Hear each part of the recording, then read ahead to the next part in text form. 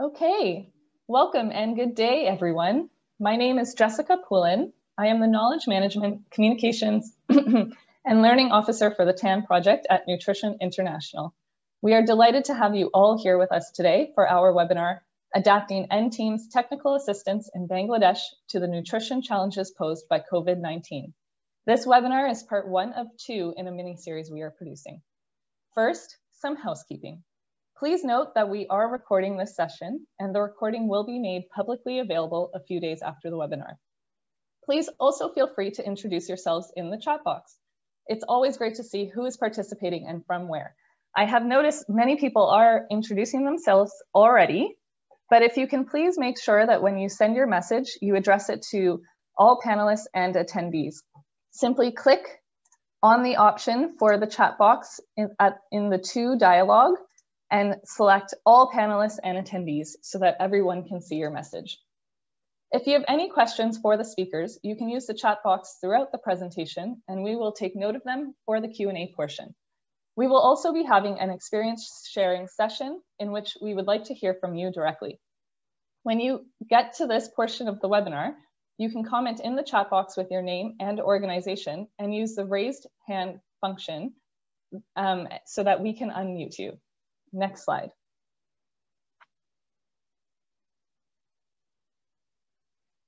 I'd like to start by giving you all some background on Nutrition International and our project. Formerly the Micronutrient Initiative, Nutrition International brings over 25 years of on-the-ground experience to end hidden hunger in over 60 countries.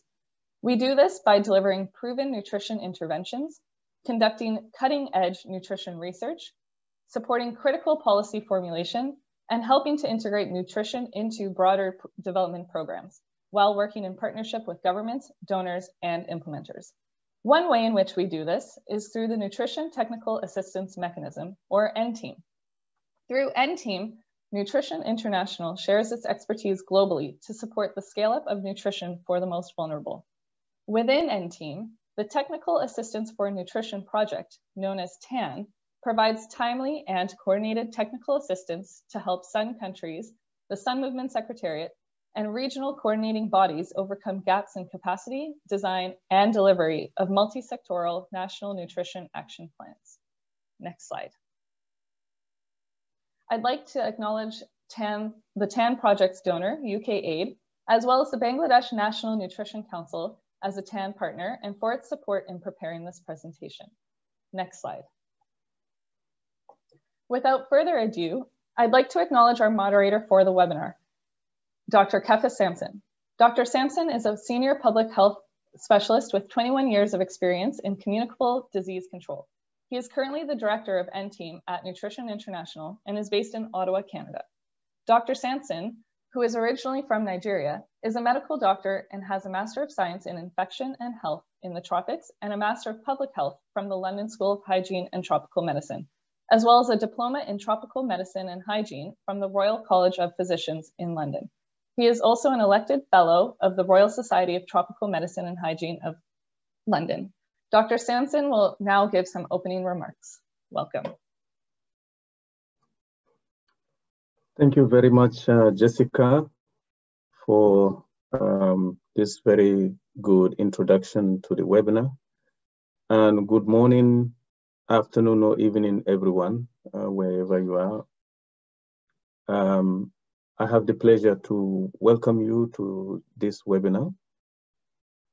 Uh, as you are aware, we are currently living through a period of uh, a global pandemic occasioned by the COVID-19 uh, virus outbreak with unprecedented health and economic impact on all countries.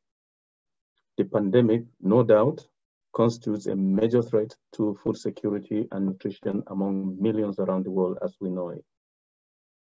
And this pandemic has prompted almost all countries to mount emergency scale up of public health preparedness and response, but also the protection of vulnerable populations and efforts to mitigate the broader social and economic dimensions of the pandemic, including uh, nutrition.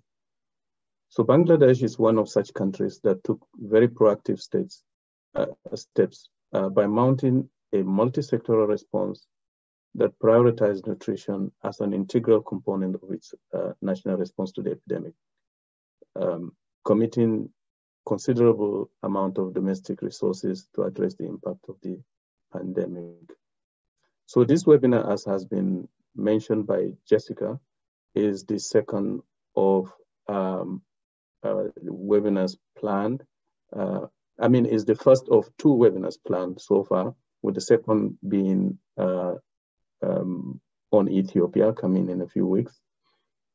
And this is organized with the sole purpose of sharing the experience of Bangladesh, led by its uh, National Nutrition Council. And also uh, how Nutrition International's N-Team aligned itself with the country's priority uh, to help the country in its response to the COVID-19 pandemic. So the objective of the webinar uh, will be that we'll be able to learn more about incorporating nutrition considerations into the response to COVID-19 uh, from the experience of a government such as Bangladesh, explore how TAN's technical uh, assistance in Bangladesh rapidly adapted itself to support the response planning and also provide an opportunity for participants to ask questions about and share their own experience with adapting nutrition related work in response to not just COVID-19, but perhaps other uh, public health emergencies of international concern in the future. So the format of this webinar will follow three parts. Uh, it will consist of a 35 minute um, dedicated to presentation by three distinguished speakers that we have today, followed by 40 minutes of questions and answers, uh, and then experience sharing. So our three presenters today will be uh, Ms. Saiqa Siraj, who is the country director for Nutrition International in Bangladesh, uh, who will walk us through a broad overview of the nutrition response in Bangladesh uh, to this pandemic. This will be followed by Dr. Iqbal Kabir, our, our lead consultant for N-Team in Bangladesh, who will then provide us with a detailed um, examination of two key elements of the response, uh, namely the revision of food baskets guidelines for use in the relief programs and the forecasting of the impact of the epidemic, of the pandemic, sorry.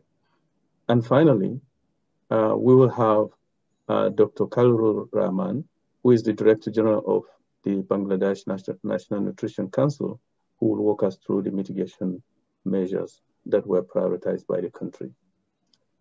So on this note, um, I will um, call on our first presenter, who is uh, Dr. Saiqa. Can you move to the next slide, please?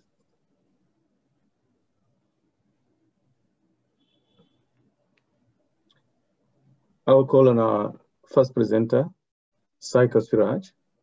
Saiqa Siraj is the Nutrition International Country Director.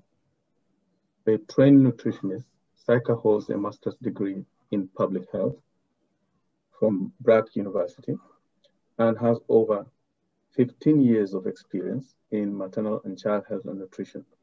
Saiqa has been the nutrition focal point for a number of organizations, notably the International Food Research Institute and Save the Children in Bangladesh.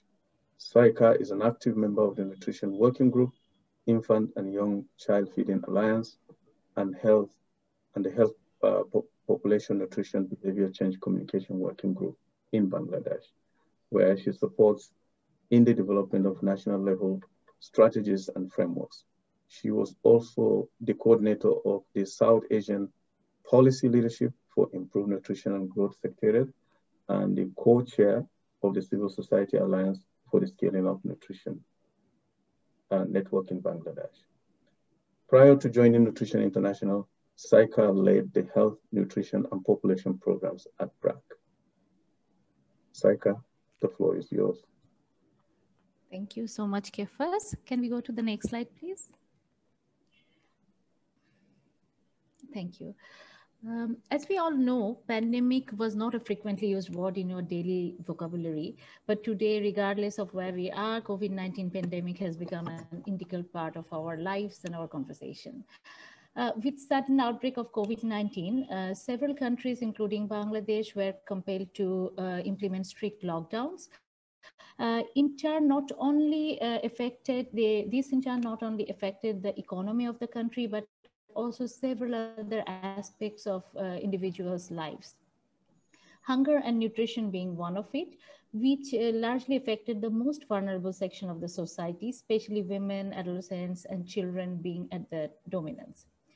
Today, we will be sharing uh, some of the key aspects of the work, uh, especially on the priority actions that government has taken towards nutrition and food security during and post-COVID in Bangladesh under the leadership of BNNC and supported by all the partners, including NTEAM, uh, such as uh, promoting multi-sectoral coordination, developing costed food and nutrition security response framework, uh, establishing nutrition surveillance system, etc.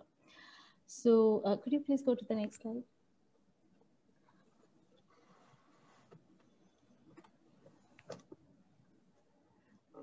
Uh, though NTEAM TAN uh, got this opportunity today to present the efforts uh, made by government of Bangladesh, uh, but this endeavor definitely includes the efforts of all nutrition partners uh, in the country. Today, we take the privilege to represent all the nutrition partners of Bangladesh. As you can see in the slide, there are UN bodies, academy, uh, academia, research organizations, and the TAN program being supported by UK Aid.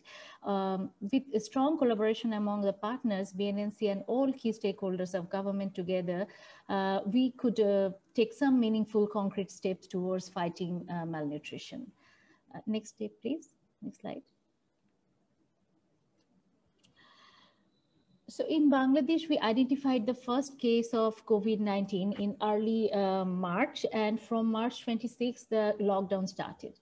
Uh, from early June, some of the offices and ready-made garment sector started partially functioning, um, but um, early September, all government offices uh, were declared open. Until now, those are open.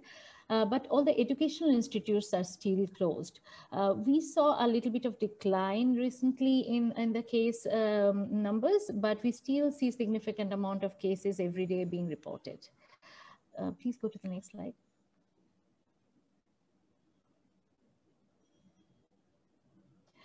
So from the very beginning, government of Bangladesh took different measures to support the most vulnerable uh, population during the pandemic.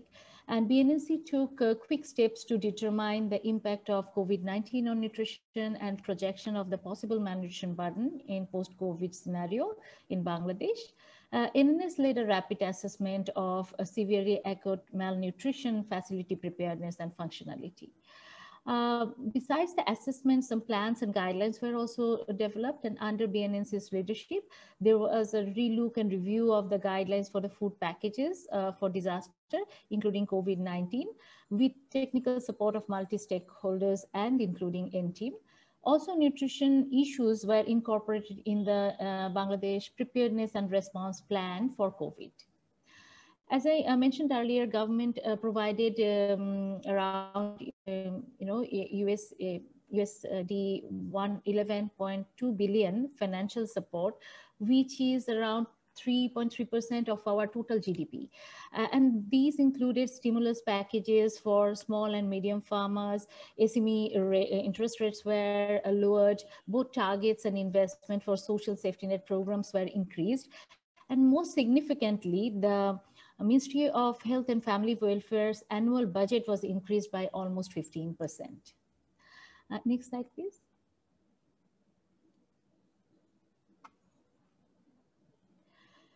The support of NTEAM uh, to BNNC will be discussed in details uh, by the next speakers uh, today. So I won't go into a lot of details. I just wanted to highlight a few things here.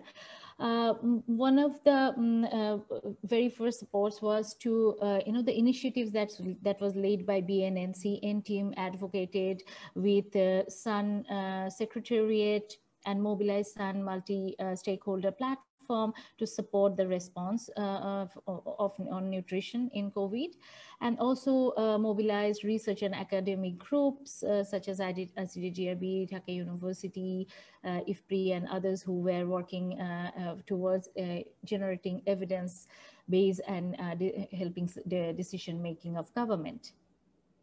NTEAM TA providers uh, were also part of COVID technical committees and supported uh, in the dissemination of the reports and guidelines that were uh, prepared to the highest level policy and decision makers.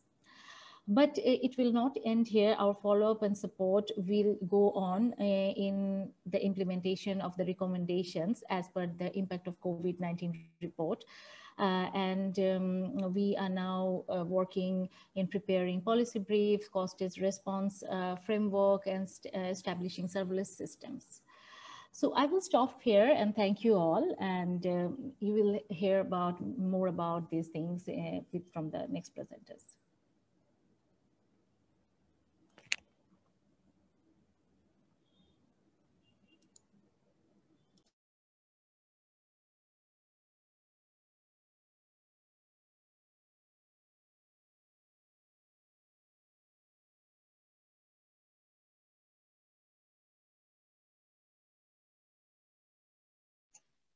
Hi, Kefas. You're just on mute, actually. Okay. Okay, thank you again, uh, Saiqa. Uh, our next presenter is Dr. Iqbal Kabir.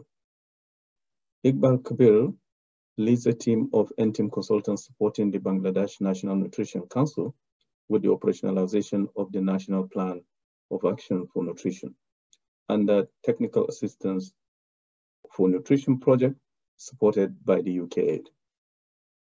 Dr. Kabir brings a community perspective to the design of nutrition programs that ensures the most vulnerable are considered. Previously, Dr. Kabir worked with at-risk populations in Bangladesh and Tanzania, drought-stricken populations in Ethiopia, and war-torn communities in Afghanistan and Yemen. He was also Chief of Field Operations and Emergency and Chief YCSD and Senior Nutrition Specialist for UNICEF in Afghanistan and Yemen, and task team leader in the World Bank for large nutrition projects. Dr. Kabir, please.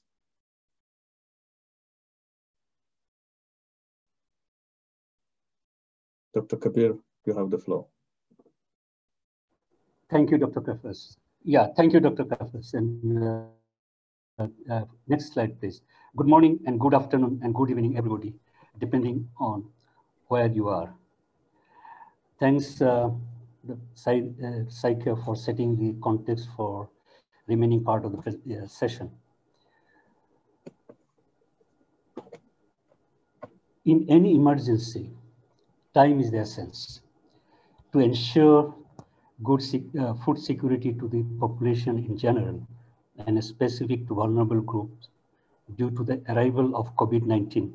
With the request from the Ministry of Disaster Management and Relief, the Ministry of Health formed a 11-member te eh, technical expert committee under the leadership of the Bangladesh National Nutrition Council and the National Nutrition Services to review and develop an emergency food basket. The purpose was to assess the food requirements of different age and target groups affected by any disaster and COVID in particular. Review the content of current relief dry food basket and recommend nutritionally balanced food basket considering their cost, nutrition value, safety, availability, accessibility, and the preparation, etc. On a fast-track basis, the technical committee prepared a detailed technical report, including recommended food baskets during disaster, including COVID uh, affected population, and also developed and widely shared the, the key nutrition messages. Next slide, please. So the recommended guideline was immediately followed by uh, relief responses from the government, uh, both in cash and kinds. For example, like say, for example, 137 million BDT, which is almost like equivalent of 1.6 million USD, through government channel food and money through their uh, local administration. At the same time, during the National Nutrition Week in April, end April, the Bangladesh National Nutrition Council and Institute of Public Health and Nutrition distributed their share of the resources through the district and sub-district nutrition coordination committee to purchase food for the vulnerable population in all districts and sub-districts in Bangladesh. In addition, under the food-friendly programs, government distributed about 30 kilo rice per family among total 5 million poor families. Next slide, please. Following this, the next immediate need from the government was to know the possible impact of COVID-19 on nutrition in short, medium, and long term in order to prevent fallback of countries' gains so far made of the current nutrition situation, and also to prevent this health crisis to turn into a food security and nutrition crisis. And being the nutrition apex body in the country, Bangladesh National Nutrition Council formed an expert committee on food security and nutrition.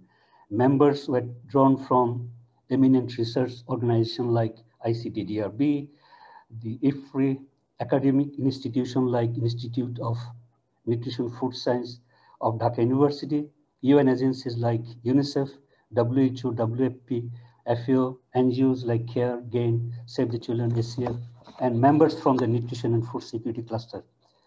And the task was to estimate the malnutrition case burden during and post-COVID-19 period, and also to prepare a policy brief with the recommendation for, uh, for higher authorities and to develop a workable solution for government to respond to the nutrition crisis in a swift and effective manner.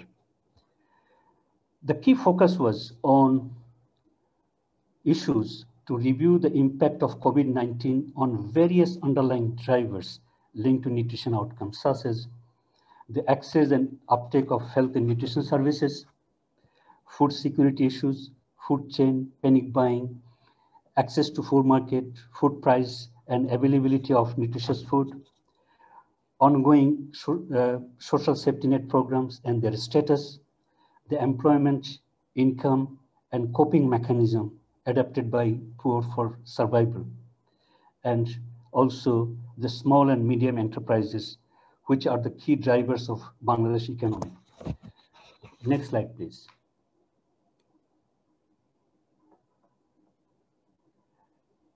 In our exercise, you know, so BNNC has adopted the widely used conceptual pathways between the underlying factors and the malnutrition outcomes, uh, Uh, which was adapted as per the needs of this work and take as a sort of basis to further understand the impact of COVID-19 on malnutrition as represented in this figure. And we know that COVID's impact on nutrition would likely manifest itself through multiple pathways in the short, medium, and long term. In the process, social inequalities will contribute to differential impacts. So as portrayed here, the immediate consequences of COVID-19 and the subsequent lockdown due to government's extended holidays. It impacted all known underlying determinants of malnutrition in the country, such as the food security, the behavior and practices of population, including the stigma and all this misinformation, and access to health and nutrition services, both in quantity and quality. The combination of which eventually leads to the poor dietary intake and utilization, combined with the increased occurrence of illness, resulted in increased malnutrition, high morbidity and mortality as final consequence. Next slide, please. Let's see what happened to Bangladesh of all these underlying fact issues and proximity issues. As a few examples, you know, the at the beginning, in a COVID pandemic, severely reduced in incomes across all segments but the poorest were left most vulnerable. The, it was estimated that, you know, say Bangladesh has already 24%, 24.3% poor population. And due to this COVID, there will be, it will rise to 35%. You know, already we have 39 million poor uh, people, and half of them are severely, uh, uh you know, extreme poor, who cannot afford uh, minimum food basket. So at the beginning of the lockdown, income gone down by 73% to 75% among moderate and extremely poor groups, and by 65% among non-poor groups. So everybody was affected. No one was immune. Income shock was hard and deeply experienced by all sections of population groups, as seen from this slide. This fall in income was seen in both urban and rural areas, but urban poor were hardly, hardest hit compared to the uh, rural poor. For instance, two-thirds of urban slum dwellers lost their source of income. There was an increase in the price of all varieties of rice, which is our staple food in Bangladesh, due to disruption of food chain. About 25 to 30% of poor reduced expenditure on food, a substantial number household in urban slums and in rural settings who could afford three meals a day before the COVID had reduced food consumption and adopted various negative coping mechanisms for survival. About 70% households were unable to provide diversified diet to their children aged 6 to 23 months. In addition, just an example, you know, 2.9 million poor students have been missing their regular school feeding since the schools are not open yet. Though WFP and uh, government is trying to reach, reach out to them to deliver this food, but it's very difficult, which is a substantial source of nutrition for this group. Next slide, please. So the, the in addition, uh, the health and nutrition services for children and women immediately after COVID-19 crisis were badly interrupted. For example, I'm just giving one or two examples here. You know, Bangladesh, before this COVID, Bangladesh had a good track record on the health fronts, you know, the good immunization coverage and the antenatal coverage and reduction of under five mortality, child mortality, all this good track record. But what we have seen during the COVID, you know, the admission of severe acute malnutrition dropped by 40 to 84% in April, you know, so if you look at, and, and also the services for the pregnant and lactating women, which are related to nutrition, nutrition related services also gone down. For example, the antenatal care services reduced by 31%. Counseling during antenatal services gone down by 13 to 37%, and iron folic acid distribution reduced by 50 to 38%. So these are few examples. Though the situation of access and use of services are improving since June, but still below compared to the pre-COVID time. Next slide, please. So what is the implication of all this? The, so the implication of it that the, the case burden of severe acute malnutrition, malnutrition will increase. So as demonstrated, all proximate and underlying determinants of malnutrition as for an increased mortality, inadequate access to various services and their low and limited uptake, food insecurity, low income and employment opportunities have already deteriorated substantially, as we have seen. In July this year, the Lancet published the impact projection based on list modeling methodology and macroeconomic and microeconomic analysis of multiple indicators in 118 countries, including Bangladesh, and concluded that you know the wasting may increase by 14.3% in 2020. So what happened in Bangladesh? Let's see. So we wanted to, uh, since there was uh, uh, the task to assess the situation and also to come up with a scenario and the projected projection level of malnutrition in the country due to COVID. So at the time of writing of the first version of this document in April, so you know, in April 2020, the inter international research community had not yet uh, published any prediction or projection on the impact of COVID on malnutrition. So what, as such, so in creating the possible scenario, the Bangladesh National Nutrition Council has developed its own methodology by aligning the WHO threshold level for global acute malnutrition cutoff, like say, for example, for example, the poor, serious, and critical emergency, depending on the level of the, uh, the, the status.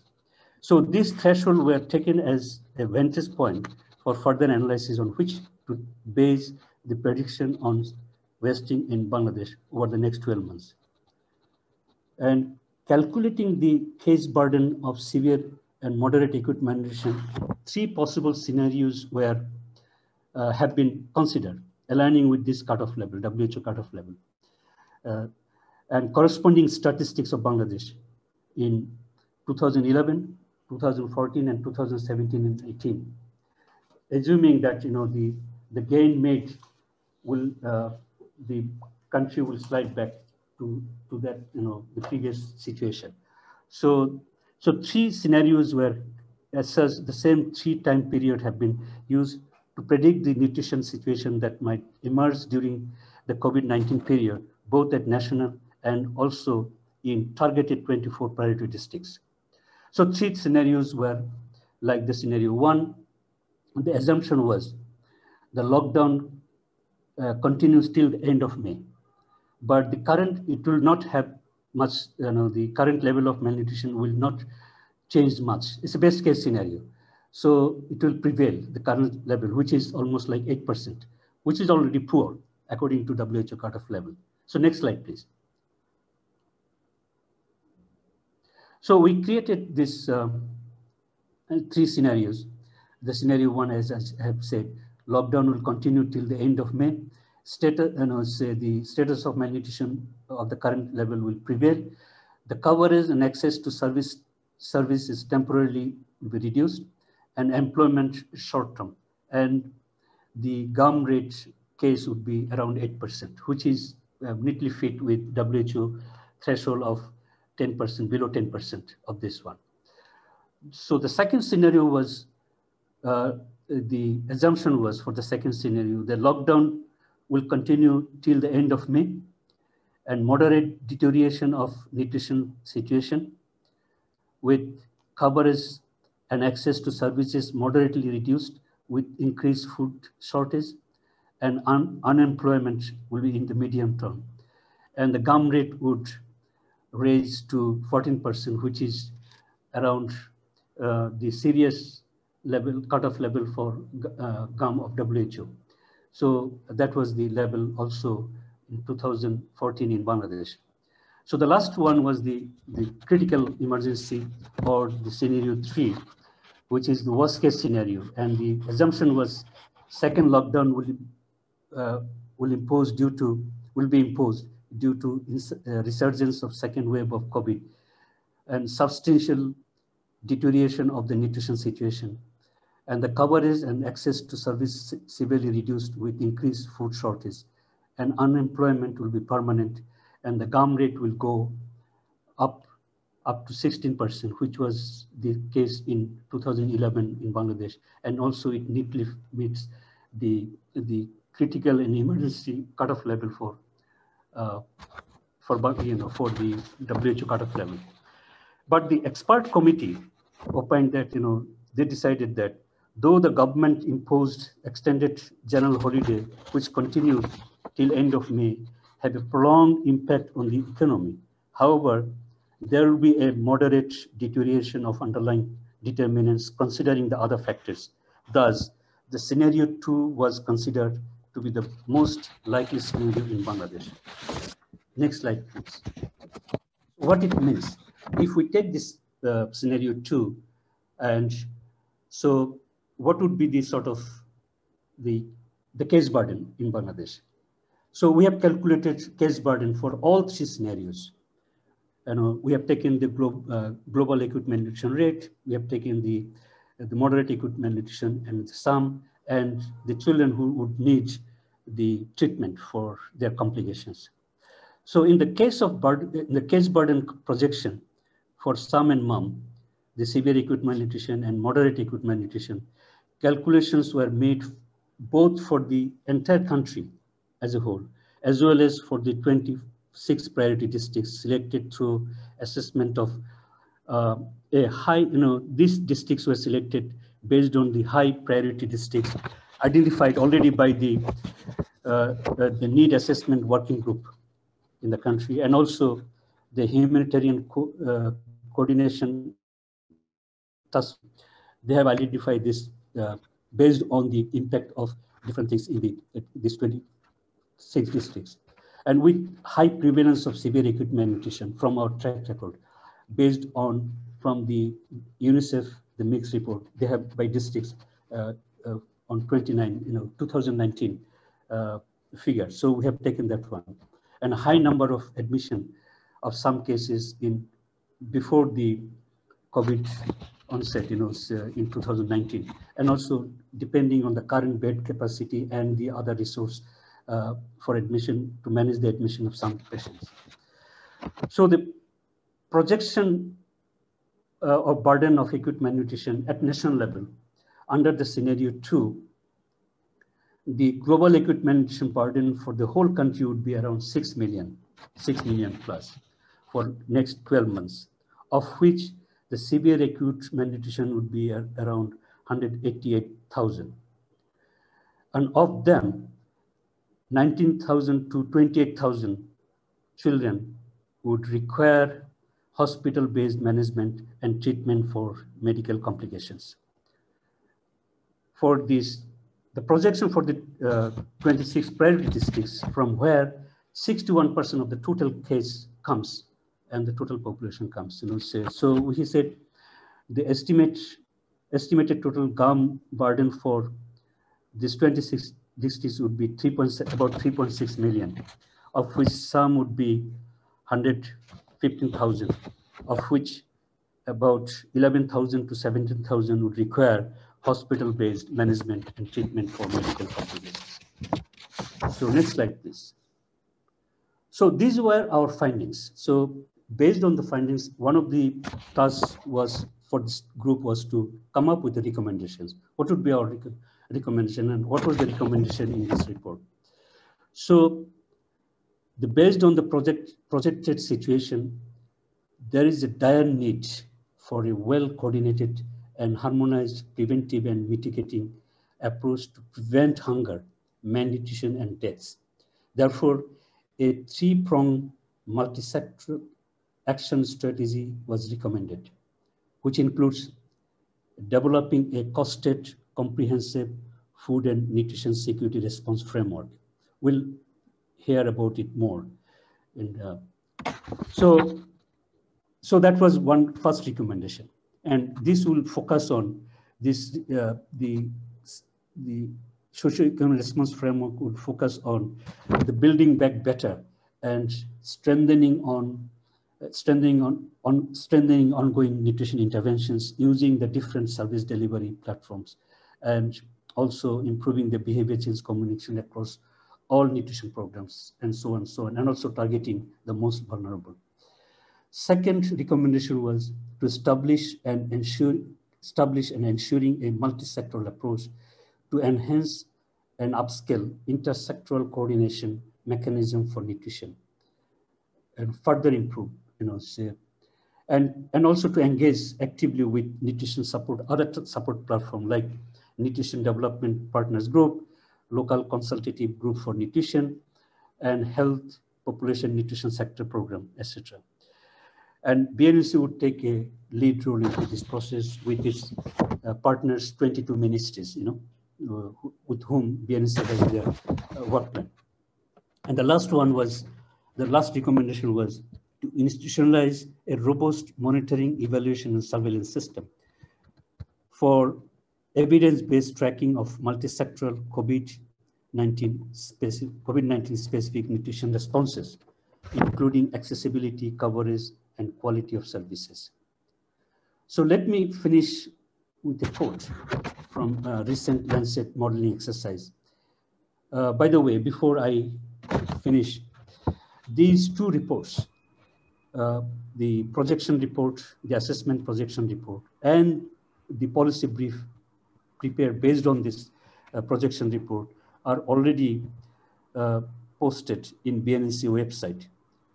So the, link, the links will be provided into our chat box soon.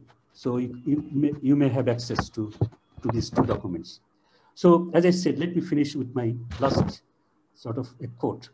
A recent Lancet modeling exercise estimates that, quote, if routine healthcare is disrupted and access to food is decreased, the increase in child and maternal death will be devastating. A 10 to 50% increase in wasting prevalence could account for an 18 to 23, 23% increase in child death in the next six months. So the prompt actions by the policymakers based on evidence, mobilizing and coordinating with all partners together and putting a system in place to monitor the progress with an accountability frame mechanism would prevent to this unwanted suffering and death happens in Bangladesh. So thank everybody for your patience sharing. Thanks to everybody. Over to Kefas. Thank you very much uh, indeed, Dr. Iqbal, for walking us through these very crucial um, elements of the response. Uh, you've uh, clearly highlighted um, the importance of uh, impact assessment, uh, which provided a very sound basis for the multi-sectoral action that ensued, um, and also the coherent strategy that was developed to see the uh, action through in a very coordinated manner. So on this note, I will invite our uh, last presenter for uh, this morning, uh, Dr. Khalilur Rahman. Dr. Rahman is the Director General of the Bangladesh Nutrition National Nutrition Council, a medical professional with a Master's uh, of Public Health uh, degree and nutrition. Dr. Rahman is as the Director General of the Bangladesh National Nutrition Council leads then the apex governance body uh, in Bangladesh for nutrition. The BNNC is responsible for formulating national nutrition policy, strengthening nutrition governance at national and subnational levels, advocating for the prioritization of nutrition, mobilizing resources for nutrition, and knowledge management. Previously, Dr. Rahman had several, held several uh, senior positions uh, within the Ministry of Health and Family Welfare, including the director of the Institute for Public Health Nutrition and Civil Surgeon, head of the district health system, as well as the grassroots level, and is an active member of the Bangladesh Medical and Dental Council. Dr. Rahman, you're welcome to take the floor.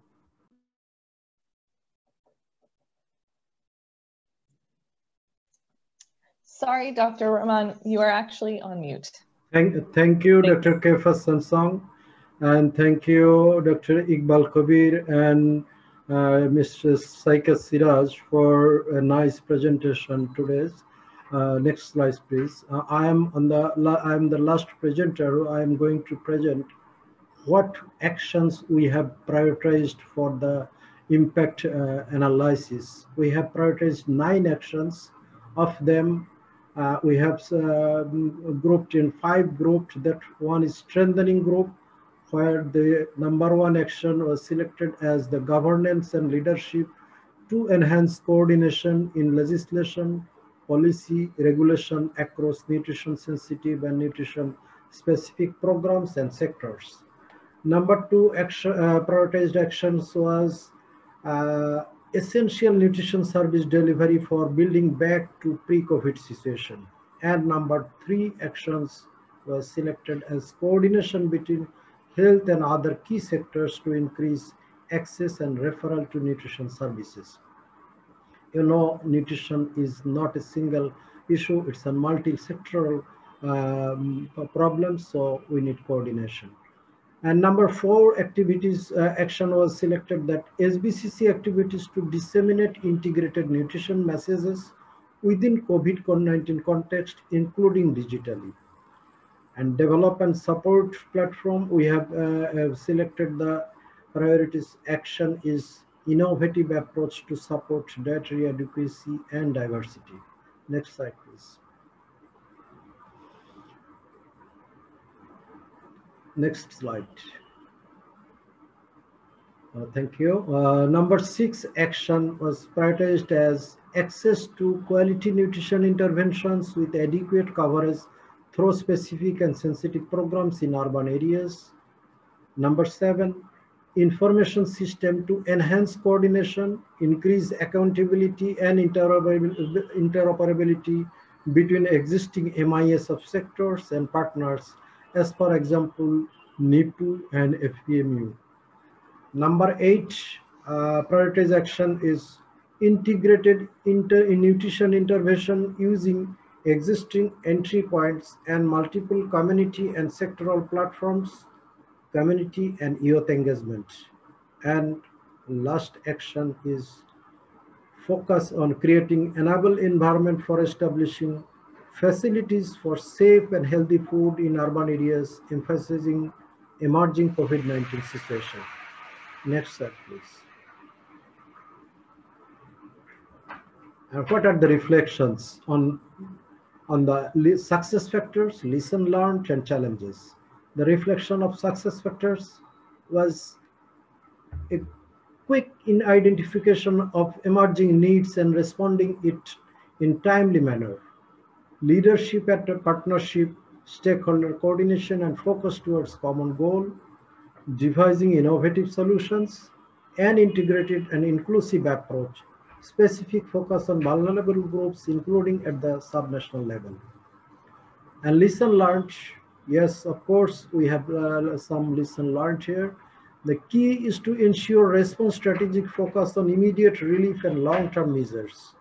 Need for ready to use or easy to adapt standard operating protocols, technical and implementation guideline focusing on immediate relief measures during, during a public health crisis and flexibility is key to adapt to emerging crisis. And the challenges.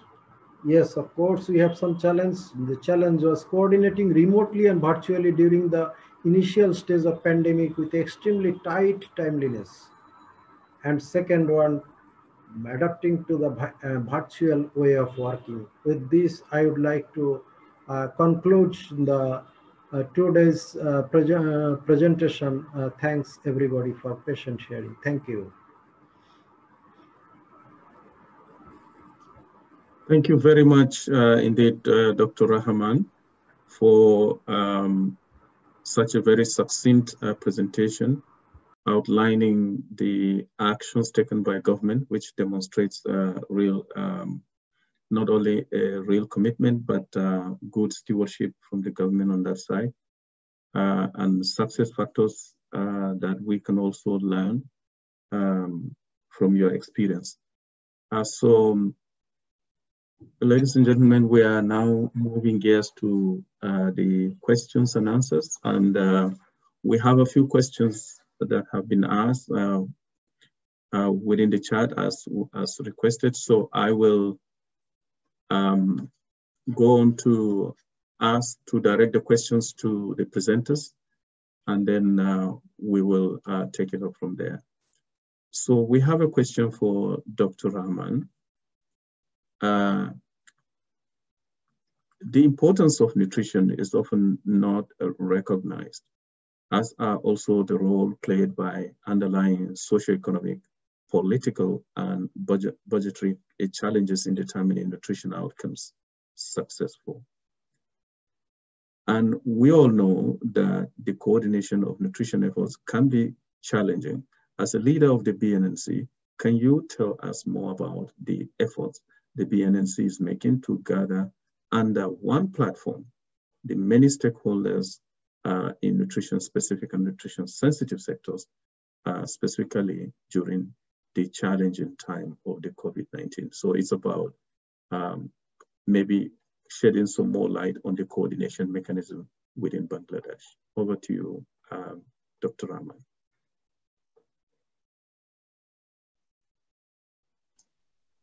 Hi, Dr. Rahman, you're on mute. Probably uh, Dr. Khalil Rahman sir is muted. Uh, uh, thank you, Dr. Kefas, for arising the uh, right question how the BNNC is successful. So yes, of course, understanding and cause, understanding cause and consequence of malnutrition is not common and few people con uh, conceive nutrition with that insight. As nutrition is a multi-sectoral issue, coordination is very important and is a common challenge. However, coordination is the usual way of doing business by BNNC. BNNC is mandated to do that. BNNC being the highest level policy coordination body of nutrition with Honorable Prime Minister as chair. So BNNC has strong convening power also. Over the years, BNNC has been doing this. BNNC successfully developed part partnerships with a wide number of multi-sectoral partners, which made the task easier. I think uh, it's the beauty of BNNC that it has achieved uh, by the leadership as the multi-sectoral and multi-level and multi-stakeholder coordination. Thank you, Dr. Kefas. Thank you very much, uh, Dr. Rahman, for that. We have another question, and this time directed to uh, Dr. Kabir. Um, the question is that can you please clarify how NI changed its work plan in Bangladesh due to COVID? I think we need to clarify that the food basket guidelines and the food focus report were changes to our TA work plan. We adapted to include this. If I understand, yeah, if I understand the question is uh, uh, the how we adapted ourselves and changed our work plan. Yes. Is that the question? Yeah.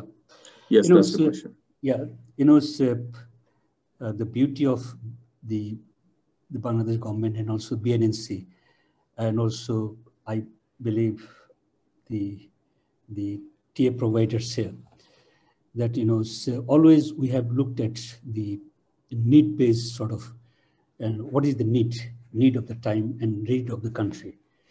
And uh, so uh, that's why the flexibility issue was brought by uh, the director general here. That was one of the you know, success factors. So these were not these two tasks were not included in in the original tour of our team here. But when we, you know, realize that these are the needs and government wants this, and then immediately, you know, so we discuss with our regional team and they also, uh, you, know, you know, agreed and since the request and the need is from the government. So without thinking of what is in the TOR and what is in the contract or what whatever, and then, then we immediately responded to that one. And we took part. We actively took part in all these committees, especially I was a member of the, the expert committee the, for the 11 member committee formed by the Ministry of Health, which was chaired by Dr. Khalil Rahman and uh, the secretary was the NNS. And we led the group technically and supported. The same thing we did and at the beginning of the crisis also, we raised this issue that, you know, uh, based our, on our experiences in other countries and our previous experiences, and, and we know that this type of pandemic will have impact on nutrition. And, you know, nutrition is a sort of an outcome, unless unless you know so you manage it properly, then you know the, you cannot prevent it to happen.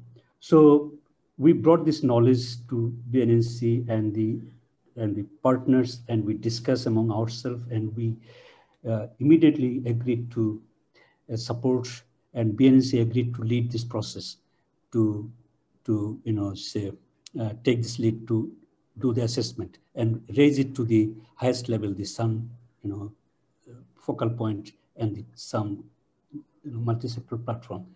And then they mobilized the partners and then we took this task. So what I said that, you know, say, this is the beauty of the, you know, this uh, assignment.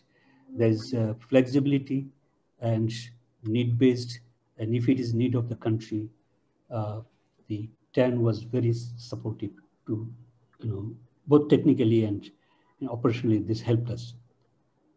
So thank you.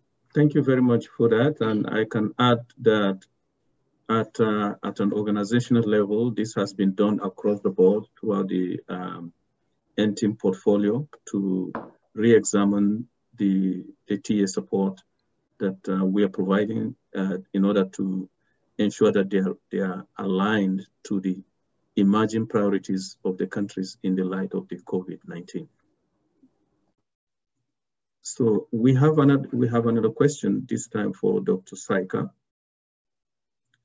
Um, did TAN or NI more broadly implement any specific nutrition intervention in Bangladesh for helping to reduce malnutrition during the COVID-19? Okay, so uh, okay, first, can you repeat it? Uh, during the question is asking yeah. about what specific nutrition intervention mm -hmm. was implemented by Nutrition International in Bangladesh, specifically for helping to reduce malnutrition during the COVID-19 pandemic. Right. Right. Thank you so much. Thank you so much for the question. I think um, uh, part of it already was covered uh, in the presentation today, the technical support and, and um, you know, uh, being part of the assessment and reports, but also uh, through NI's other activities besides TAN, uh, we uh, work directly with government in, uh, you know, uh, with the Ministry of Health, Ministry of Industries, and uh, Ministry of Education. So we try to help and support whatever was the need of that uh, this time and um, uh, in, in all of those interventions. Uh, NI supports um, the salt iodization uh, program, universal salt iodization program in Bangladesh. And throughout uh, the pandemic period, we are we were providing support through digital platforms and through you know um, uh, meetings and and um, whichever way we could to uh, ensure that the quality is maintained.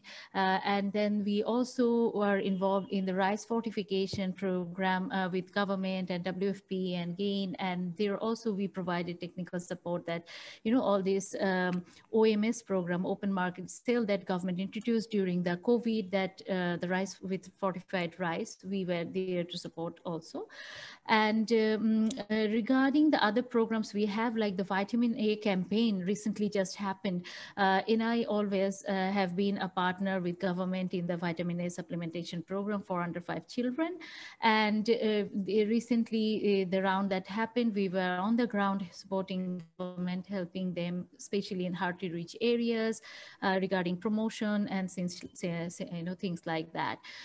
so I think all, through all of our projects and our field staff and uh, all, all of our different platforms that we are connected to.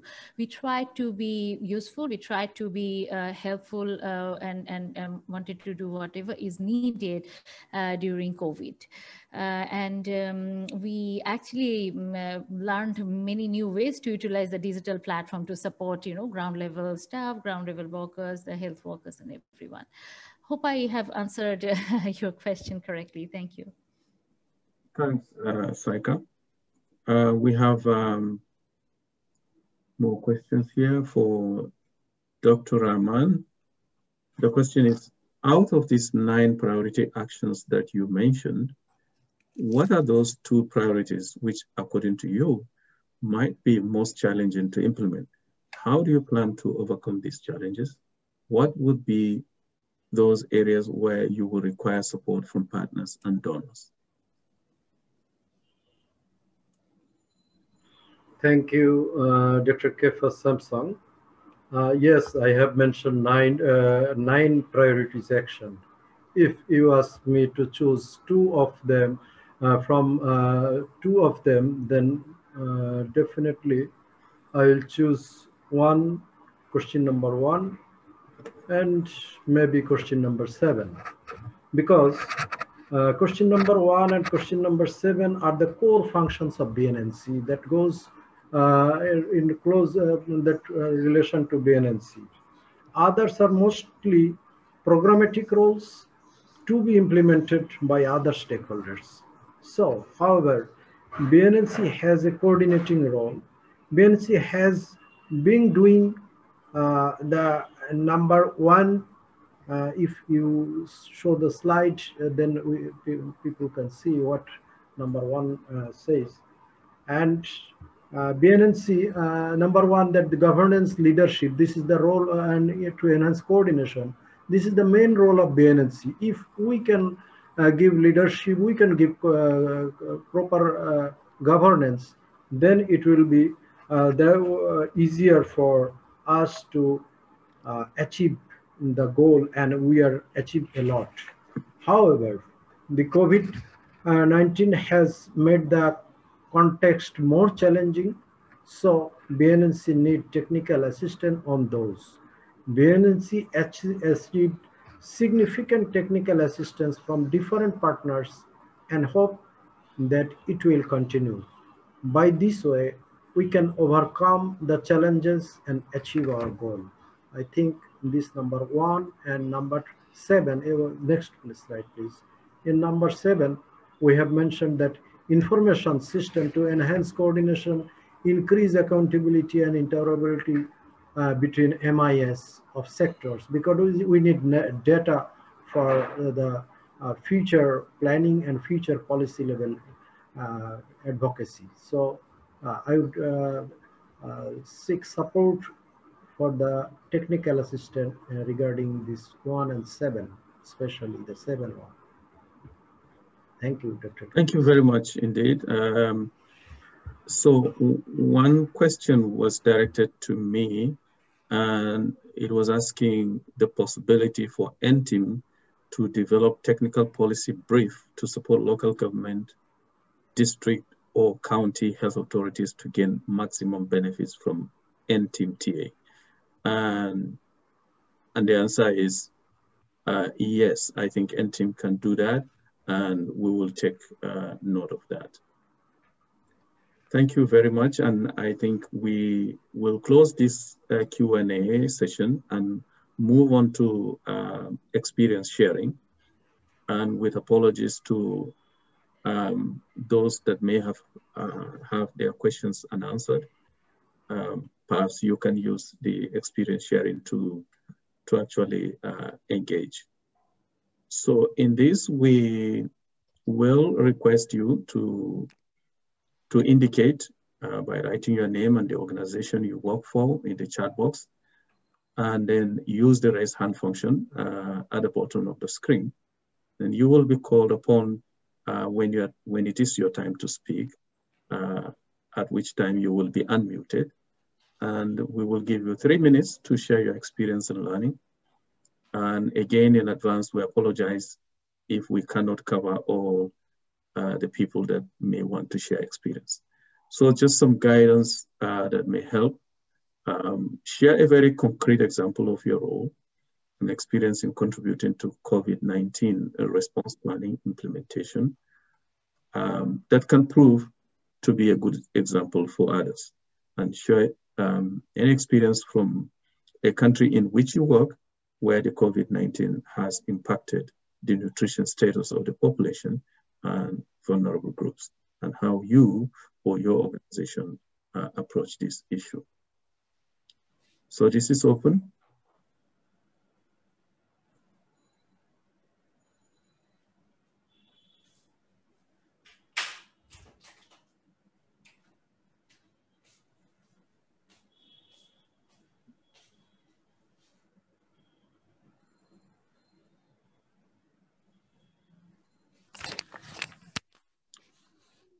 So I'm looking at um, just so we have uh, Dr. Tahmeed Ahmed, uh, who is the head of International Center for Diarrheal Disease Research in Bangladesh. The floor is yours. Please um, share your experience. Thank you. Um, first of all, good day to all of you. Can you hear me? Because I was having problems with the internet connection. Can you hear me? We can hear you. I can. Oh, okay. Okay. Okay. So, so I am from Bangladesh. I am not the head of ICDDR,B. I am uh, directing the Nutrition and Clinical Services Division. And in that position, I oversee all COVID-19 testing and treatment at ICDDR,B, which means that, you know, I'm just at the forefront. Basically, I'm a clinician. I also do a uh, lot of nutrition work, working with Dr. Iqbal Kabir, Dr. Khalilur Rahman, and others. So for those of you who have not been to Bangladesh, I think the first thing that I want to tell you is that Bangladesh is a uniquely pleasant and a bit strange country. And I will tell you why in the context of COVID. When COVID-19 struck in the month of April, we had as many as three, you know, very reliable predictions, projections. And these predictions were that there would be thousands and thousands of people, you know, dying of COVID-19. And that's one of the reasons why I decided for our staff and hospital patients. But you see, now it is October, November, we haven't seen that happen. We thought that we would be seeing patients on the streets, you know, there would be panic, there would be chaos, and you know there won't be any seats available in the hospitals but somehow that didn't happen. So that's why i keep on saying that you know the country is pleasantly strange and unique. And one of the reasons why i say this is because there's a lot of resilience okay? And one of the things why this does not happen is because of the proactive steps that were taken in bangladesh one such step was the step taken by the Bangladesh National Nutrition Council that you have heard, you know, in his eloquent presentation by Dr. Iqbal Kabir and also by the DG, Dr. Khalilur Rahman. And I will tell you how they managed to do it. The second most important proactive step was taken by the government itself. And I want to tell you, friends, about only one example. In the month of April, Bangladesh was expected to have flash floods affecting the major boro crop producing areas in the east of the country. And that was frightening. If that had happened, we would have lost 20% of the entire boro crop. You can imagine what degree of food insecurity it would have caused. But you know what happened? The government, led by the agriculture minister himself, mobilized all the agriculture workers, okay, from different districts because there were no workers then. You know, it was the peak of the pandemic and they were transported, ferried from different districts to cut, to reap the paddy in the fields before the flash flood uh, strikes. So that was one of the major, you know, proactive step taken. And I always cite that as an example. Then the other proactive step was the furlough, the lockdown, you know, people were without any livelihoods. And when that happens, you have food insecurity and malnutrition. So we decided to live that off. And I think because of that, we don't see that much of you know food insecurity out on the streets that we had witnessed in the months of April, May, and even in June. So these are the things that have happened in a country like Bangladesh. And then, you know, right at the beginning, what the Bangladesh National Nutrition Council did, and I'm very happy to tell you that I've gone Hello, through the uh, documents. Dr. Tam Dr. Tahmeed, we have a couple of uh, other people that would like okay, to speak. thank you. I if will you stop can just here. round up, yeah. That's that's okay. Thank you very much. I just wanted to tell you that you know the document that was prepared that's unique. Even if you compare it with the global nutrition report context of COVID-19, I would say that the one that is prepared in Bangladesh is at par with that. Thank you very much. Thank you very much indeed. And I will call on um, Piyali Mustaphi, uh, the Chief of Nutrition at UNICEF.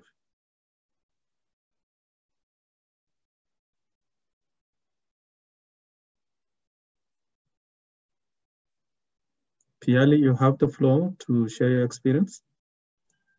Thank you so much. I was on mute and I was talking. Sorry. Uh, can you hear me? Yes. Yeah. Uh, so, uh, uh, good evening, good morning, good afternoon. I would first and foremost like to thank uh, uh, all three presenters for the excellent presentation. Uh, and uh, from my side, I'm Piyali Mustaphi. I'm the Chief of Nutrition in UNICEF, but I also coordinate uh, and uh, um, coordinate the UN uh, partnership which we have over here and work very closely with BNNC for all multi-sectoral activities. Here I will actually um, share an experience of where uh, what happened in the last six months. We have had actually the pleasure with all the UN agencies and partners to work very closely with BNNC to jointly develop an immediate socioeconomic res response framework for COVID-19, what we call ISERF, uh, uh, and it was launched uh, by globally by UN, but in Bangladesh we adopted it and we worked closely in with BNNC to come up with the framework. The I, ISERF actually is a collaboration framework which is designed by the uh, UN, which aims to support the government of Bangladesh in its response to COVID-19. And it goes beyond a health response and looks uh, in depth at the socioeconomic consequences of COVID-19 for the people of Bangladesh. It therefore aims to create a bridge between what we call our normal uh, UN five years planning exercise, UNDAF, and the upcoming uh, framework, which is going to start in next in, from 2022.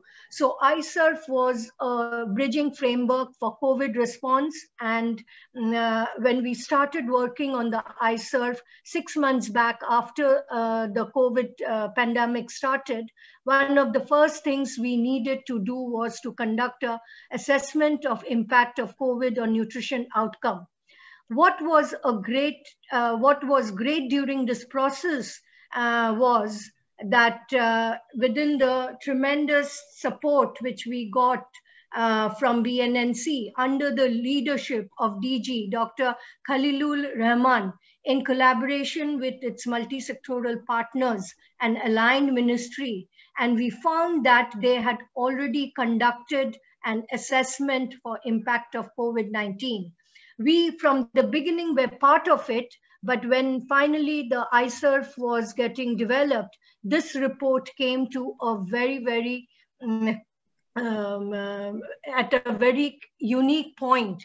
And as uh, mentioned by Dr. Tahmeed, this report is really of a very great quality. As such, the assessment determining the impact of COVID-19 on nutrition was further elaborated and updated uh, when we started working uh, on the ISERF with the latest data. And uh, uh as the uh, COVID-19 crisis unfolded in its full magnitude and, in, in, and its impact became more clear. There was a second edition of this report, which was also ready by August. So the first report came out in April, and the second report came out in August. The assessment report thereby is a truly multi-sectoral assessment of the impact of COVID-19 on nutrition outcome, reflecting impacts on food chains, food safety, delivery of nutrition services, school feeding program, and nutrition sensitive social protection and more. This was very much presented by Dr. Iqbal Kabir just in the presentation. What is more, the process of development of the assessment really ensured that the government with all relevant ministries and partners were aligned and on the same page with regard to prioritization in response to COVID-19 to re reduce in impacts on nutrition outcomes.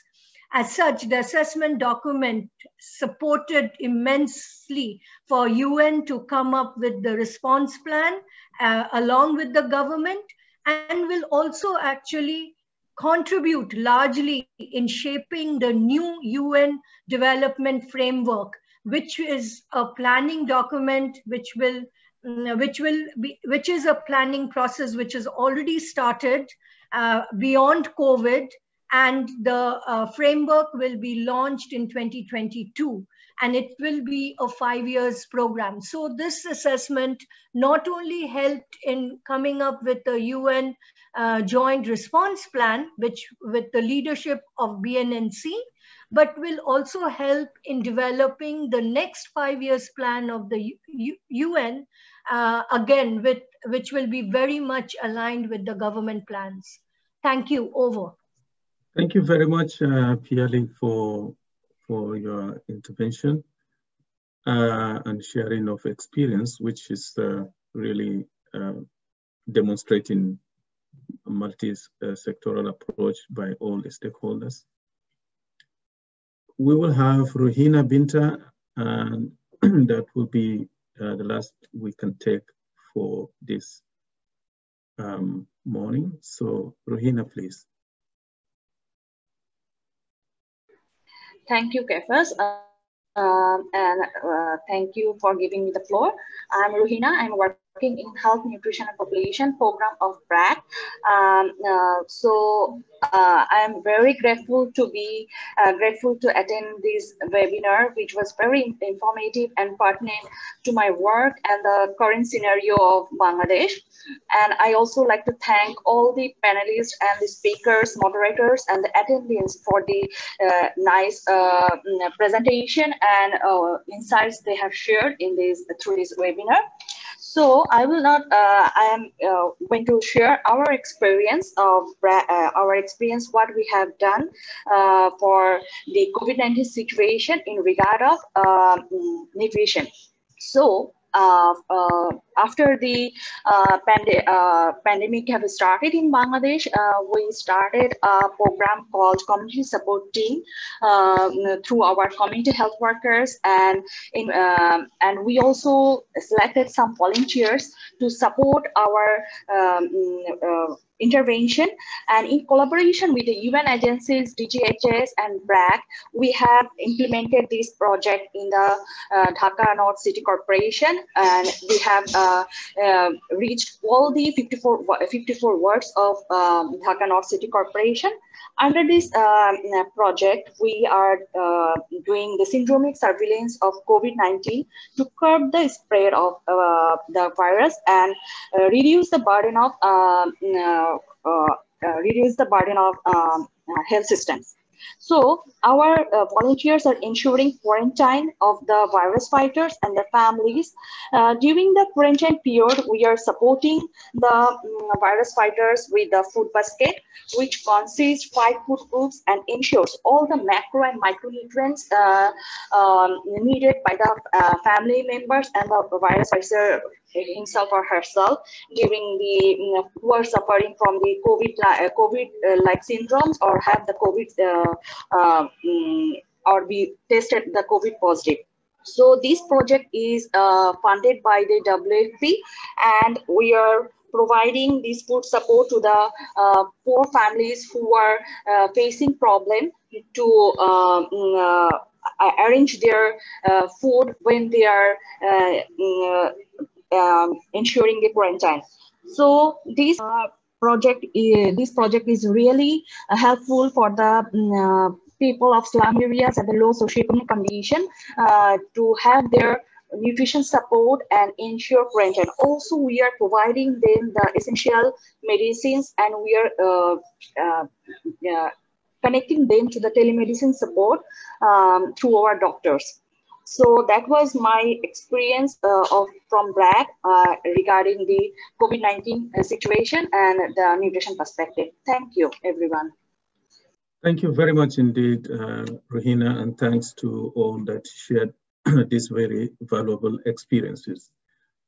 Uh, so we are coming to the end of this webinar and in, in closing, I would like to invite um, Dr. Rahman, once again, the Director General of BNNC to give some few remarks uh, before we close.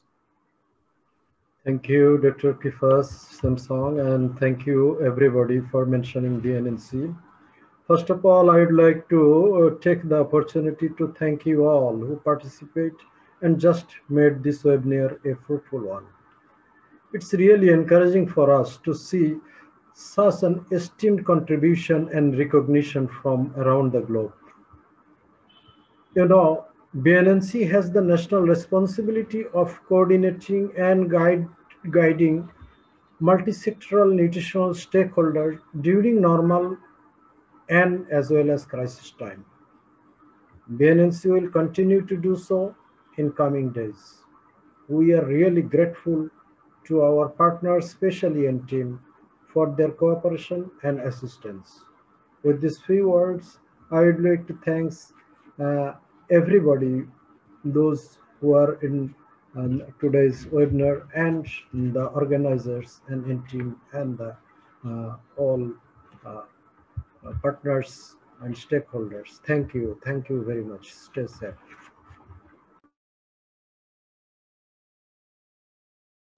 In closing, I would like to sum up um, this webinar session by saying that it is evident that the government of Bangladesh understood the imperative of a strong and multi-sector response to the pandemic and prioritized nutrition and food security, not only to provide uh, some immediate relief, but also to forestall reversal of the gains in nutrition in general uh, as it relates to the uh, nutrition status and indicators uh, of the country, particularly among the under five children. We've also learned that a well thought out prioritized action by the government of Bangladesh, further demonstrating how crucial and indispensable government stewardship can be in such situations. The Bangladesh experience reaffirms the need for TA providers and partners to have the uh, needed flexibility to align with and support the government priorities. A systematic and methodical approach based on um, a very sound causal pathway analysis, economic analysis that covered a broad uh, spectrum of the society, including vulnerable populations as the basis for prioritization was also key. So overall, this webinar reminded us of what is possible to achieve with effective leadership, sound analysis, coordination, and coherence in the national response. An experience worthy of note for all countries, and we would like to thank, the, uh, thank Bangladesh and particularly uh, BNNC for sharing this invaluable experience with all of us. I would also like to thank all the panelists, uh, presenters, uh, who have provided very um, informative and insightful presentations and for the audience for uh, listening and uh, for your participation. Thank you very much. And I let me also thank the NTEAM, uh, team that uh, helped to organize this webinar. Uh, Jessica, Srikant, uh, Sandra, for, for excellent work in organizing the webinar. Thank you very much. Uh, the webinar is adjourned. Thank you, everybody.